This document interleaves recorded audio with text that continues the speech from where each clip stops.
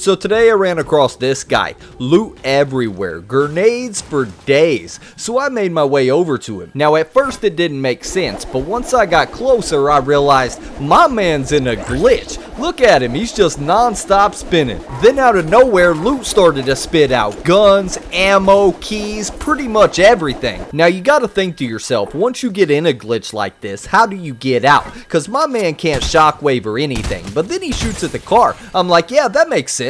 Let me go get in the car and then pull up to him and then see if he can get in it to get out of the glitch. And Yup, it worked. So I follow him around for a bit to see what happens, and then he gets stuck in another glitch. So I guess it has something to do with the slap berries, then running and switching back and forth with your pickaxe. So I end up helping him out of this one, then he gets stuck in another one, then I'm chilling on top of the car, I get popped, fried, and I'm dead.